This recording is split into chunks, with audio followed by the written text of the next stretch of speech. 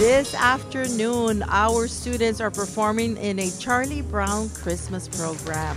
All parents were invited and all community was invited to come and witness as our students took the stage and danced to their favorite Christmas songs. This morning, we were lucky to be able to have a dress rehearsal with all the campus present, and our boys and girls re- received several cheers and shouts of joy.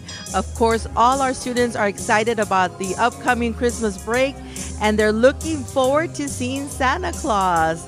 So, we wish our students a very Merry Christmas and our families as well.